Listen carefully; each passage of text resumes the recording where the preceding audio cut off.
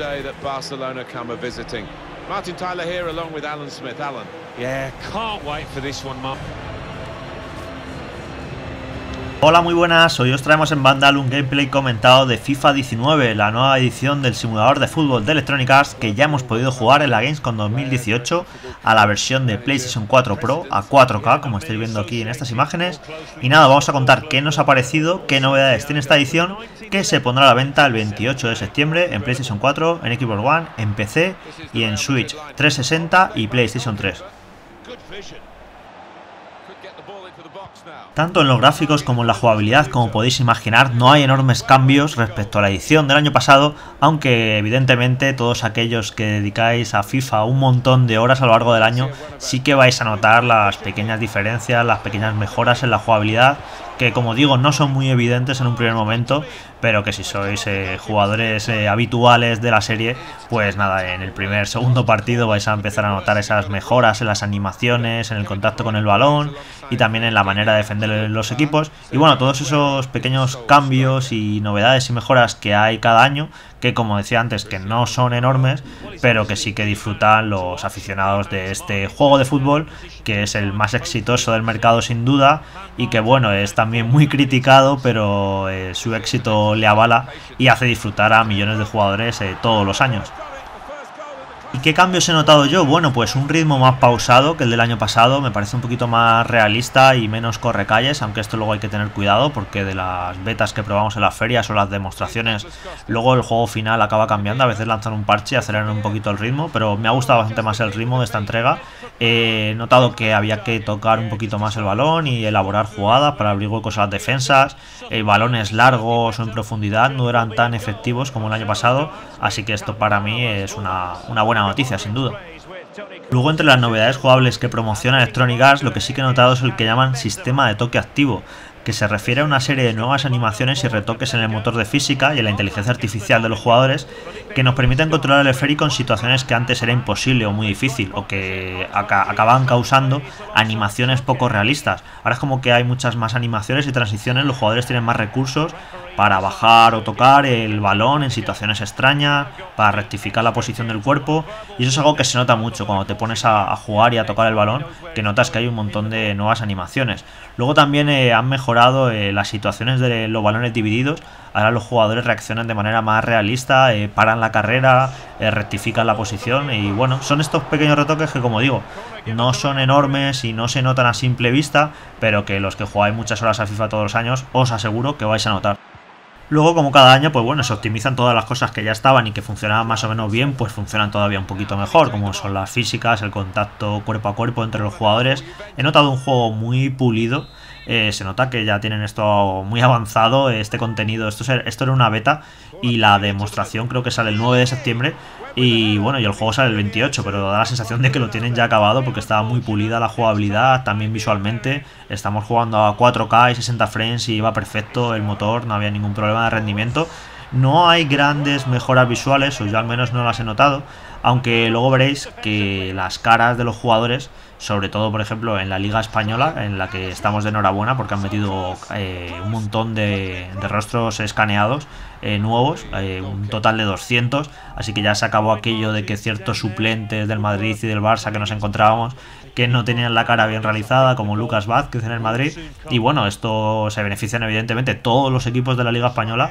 Y sí que me ha gustado mucho pues ver eso, que, que todas las caras están bien y que han hecho un esfuerzo para equiparar a la Liga Española con la Liga Inglesa, que ya sabéis que desde hace un par de años estaba muy cuidada con todos los estadios, todos los equipos, todas las caras. Pues ahora tenemos que con la Liga Española el mismo trato eh, que con la Liga Inglesa y eso es una enorme y buena noticia para los jugadores españoles porque vamos a disfrutar de FIFA eh, igual que lo hacían los ingleses hasta hace poco, y es decir, con una recreación del Campeonato de España prácticamente perfecto. Una de las novedades que ha causado cierta polémica de este nuevo FIFA es un nuevo sistema de disparos. Eh, aparece una barrita encima de la cabeza de los jugadores de rojo a verde y esto indica la precisión que va a tener el tiro. Tienes que realizar dos pulsaciones, una para la potencia y otra para la precisión y bueno, pues a esto ya se le suma también la, dirección que le das al disparo, ¿no? Entonces esto hace que puedas tener un mayor control sobre tus disparos a puerta. Como estáis viendo en el vídeo, yo no tenía activado este sistema, es totalmente opcional puedes obviarlo si no quieres complicarte la vida. Se supone que lo han metido un poco enfocado a los jugadores más pro, a los eSports y bueno, ya os digo que si no queréis enfangaros en este nuevo tipo de disparo, eh, pues podéis pasar de él, como estáis viendo aquí en el vídeo. Yo no tuve mucho tiempo para jugar, eran tres o cuatro partidos y no me quise complicar la vida. Ya habrá tiempo de testearlo bien cuando tengamos la demostración, cuando tengamos el juego final para el análisis. Pero yo creo que tenemos que estar tranquilos porque parece una novedad eh, más importante de lo que quizá finalmente sea y que simplemente está pensado pues eso, para jugadores muy expertos que no solo quieren darle la potencia al tiro y la dirección, sino que incluso quieren darle la precisión exacta y veremos a ver cómo queda esto y también de, cara al online. Eh, no sé, veremos si se podrá filtrar, que gente tenga activada o no este sistema, pero en cualquier caso yo no creo que vaya a dar eh, una gran ventaja a quien juegue con el nuevo disparo de precisión. Aquí tenemos también una de las novedades eh, más interesantes en cuanto a licencias de FIFA de este año, es el hecho de que se han hecho con las competiciones europeas, con la Champions League, y bueno, podremos jugar la Champions entera, aquí la final en el Wanda Metropolitano que se celebrará el año que viene, y ya lo veis con todos los grafismos, la copa, los balones, los signos, y bueno, va a ser una pasada. Hasta hace muy poco esta competición era de Konami, de Pro Evolution, y ahora pasa a estar en manos de Electronic Arts, que como podéis imaginar la van a aprovechar bastante bien. Era posiblemente una de las pocas licencias que le faltaba a, FIFA, pues ya también la tiene. Y luego la otra novedad en cuanto a licencias, que a mí me parece súper interesante, como decía antes, es el hecho de que ahora tenemos la Liga Española recreada eh, perfectamente con todos los grafismos de televisión, con 16 nuevos estadios de españoles. Falta alguno, como es el del Barça, que es exclusivo de Pro Evolution, o también he visto que falta el del Rayo Vallecano, que no sé si es que no les ha dado tiempo a hacerlo, pero bueno, tenemos 16 nuevos estadios, 200 caras actualizadas de jugadores, eh, rótulos, logos y demás elementos ambientales de los partidos, los cánticos de las aficiones, los tifos y bueno, es una pasada y los jugadores españoles estamos de enhorabuena porque vamos a poder jugar la Liga Española, eh, bueno, eh, a todo lujo, con todos los estadios, todos los equipos, todas las caras y sin duda esto va a ser una gran noticia para el mercado español.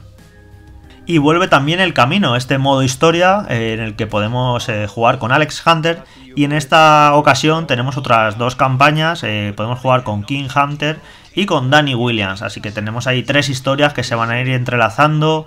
y relacionándose entre sí, podemos eh, ir jugando, saltando de una a otra. Y bueno, va a ser el final, al parecer, de la historia de Alex Hunter. Aquí va a acabar eh, la trilogía de su historia, entonces ya quiere decir que el FIFA que salga el año que viene ya tendrá otra historia o otros personajes, o veremos si continúan con este, con este modo campaña tan peculiar. Pero bueno, aquí veis cómo Alex Hunter eh, eh, ficha por el Madrid después de empezar en lo más bajo del fútbol inglés y luego acabar por accidente el año pasado en el fútbol eh, norteamericano, pues por fin ficha por el Madrid e imagino que el final de la historia pues será ganar la codiciada Champions League.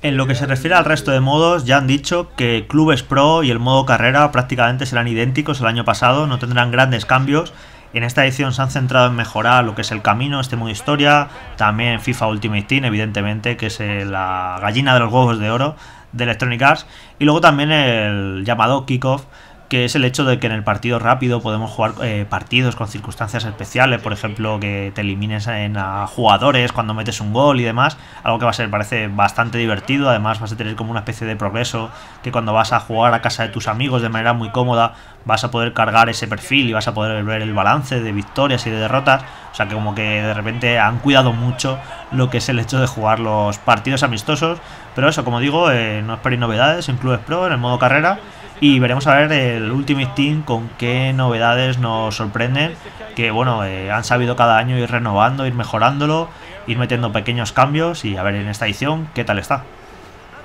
Y esto es todo por hoy. Eh, si todo va según lo previsto, la demo de FIFA 19 se debería lanzar el 11 de septiembre, así que en un par de semanitas ya podréis todo jugarlo, probarlo, ver qué os parecen las novedades y los cambios, que como digo no son enormes, pero que seguro que los mayores fans de FIFA vais a notar enseguida. Y nada, ya cuando tengamos la demo haremos algún directo en el canal seguro, luego eh, un poquito más adelante ya con el juego final también intentaremos hacer directo, tendréis el análisis en banda, el videoanálisis y bueno, la cobertura habitual de todos los juegos más importantes que se lanzan cada mes.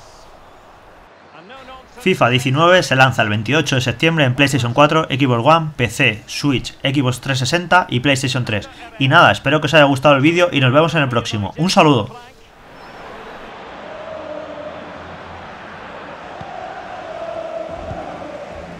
Ball with Luka Modric. Now Casemiro. Matic on the ball. Very clever read, Casemiro.